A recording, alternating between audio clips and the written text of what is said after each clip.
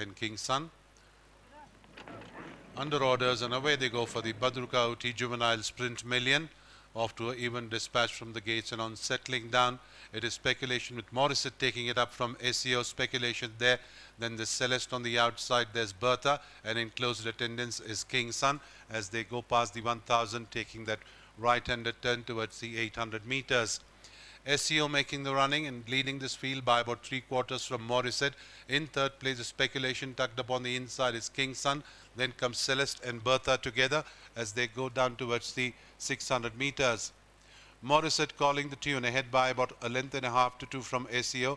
Then comes speculation. Four lengths behind is King Sun. Being joined on the outside by Bertha. Another three lengths away is Celeste as they go down the hill approaching the 400. They stride past the 400. Moriset it is in a start to finish attempt. Is about a length in front of speculation. SEO is in third. Four lengths behind there's Bertha. Then comes Celeste and King Sun. And as they enter into the straight, passing the 200, Moriset by about a length in front of speculation. Then there's uh, Bertha on the outside, SEO, Celeste and Kingston. But going inside the last 100, it is Moriset. Lo looks like going to pull it off. Moriset from fast finishing speculation. Moriset wins the Badruka Ooty Juvenile Sprint Million with C. Umesh. Then there's uh, speculation, Bertha, Celeste, SEO, followed by Kingston as they go past the post.